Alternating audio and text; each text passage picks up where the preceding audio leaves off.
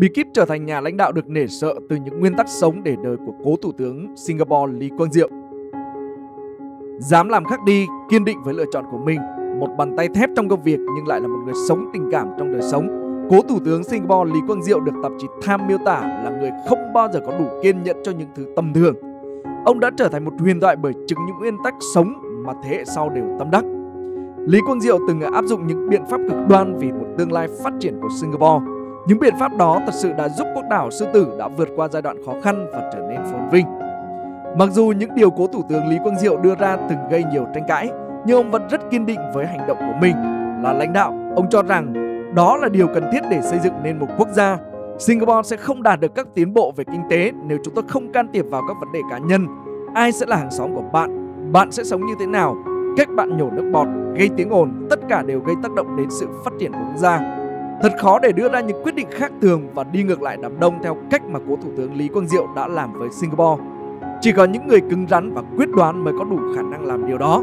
Tôi đã làm những điều đúng đắn mặc dù chúng có phần khắc nghiệt và nhiều nguy cơ. Nhưng sau tất cả tôi đã đạt được những điều gì? Mọi thứ mà tôi làm đều vì một Singapore phát triển thịnh vượng. Nếu đã từng chứng kiến hành động của ông Lý Quang Diệu, hãy xem bất kỳ bài phát biểu nào của ông, bạn sẽ nhận thấy mọi người đều tôn kính sự hiện diện của ông. Cố Thủ tướng Singapore được biết đến với những bài phát biểu hết sức giàu sức thuyết phục, nhiệt huyết và thu hút. Khi ông nói không ai có thể lơ đãng hay mất tập trung, là một nhà lãnh đạo quyền lực nhưng Lý Quang Diệu không hoàn toàn cẩn trọng khi đưa ra những quyết định của mình.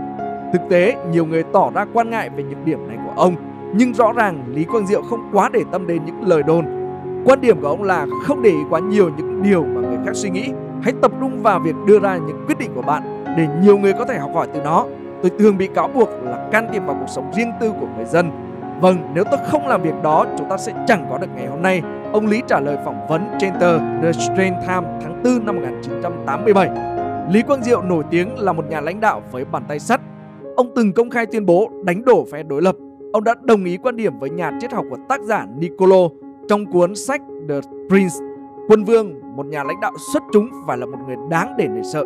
Tại sao chúng ta cần phải phá hủy những điều sai trái từ khi chúng chưa bắt đầu? Bởi khi một chúng đã bắt đầu sẽ rất khó để phá hủy nó. Tôi chưa bao giờ quan tâm hay bị ám ảnh bởi cuộc thăm dò của dư luận. Tôi cho rằng lãnh đạo như vậy là yếu thế. Giữa việc được yêu mến và được nể sợ, tôi luôn tin quan điểm của Niccolo là đúng. Tôi sẽ chẳng là gì nếu không ai nể sợ. Trong ngày hội quốc gia National Day Rally năm 1988, Lý Quang Diệu từng có một câu nói rất nổi tiếng.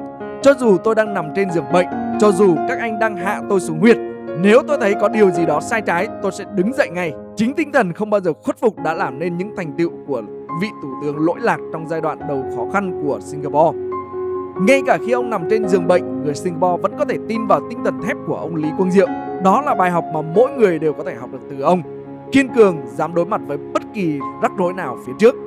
Lý Quang Diệu nổi tiếng là một người thực tế. Ông công khai phản đối rất nhiều quan điểm mê tín phong thủy trong cuốn sách Hard Trust to Keep Singapore Going, những sự thật nghiệt ngã giúp Singapore tiến lên. Cố Thủ tướng Lý Quang Diệu đã bày tỏ quan điểm như thế này. Vì ngôi nhà của tôi rất nhiều ngôi nhà lân cận không thể xây dựng cao lên. Tôi đã nói với họ hãy vượt qua nhà tôi, thay đổi các quy tắc quy hoạch và giá trị của đất đai sẽ tăng lên. Tôi không nghĩ vợ và con cái của tôi sẽ than phiền vì điều đó. Theo ông, niềm tin, tình ngưỡng không xấu, nhưng sống phải thực tế mới có thể giải quyết được những vấn đề trong thế giới thực tại. Câu chuyện tình yêu giữa cố thủ tướng Lý Quang Diệu và bà Kha Ngọc Chi được nhiều người ngưỡng mộ. Họ có một cuộc hôn nhân kéo dài 63 năm cho tới khi bà Kha Ngọc Chi qua đời vì bệnh tật. Khi vợ đau ốm, ông Lý Quang Diệu là người chăm sóc chính cho vợ và là người duy nhất đo huyết áp cho bà hàng ngày. Con gái của ông từng kể lại lời Lý Quang Diệu nói với bà vợ khi mà bà bị đột quỵ lần thứ hai.